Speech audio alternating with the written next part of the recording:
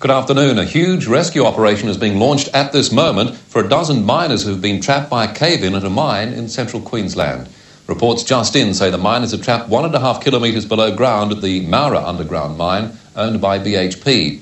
But there's also been a collapse of the mining face, which has caused a failure in the ventilation system, and the men trapped below have very little air left. A rescue team is now desperately tunnelling towards them. We'll keep you up to date on developments throughout the afternoon, and we'll have a full report in Eyewitness News at 6 o'clock.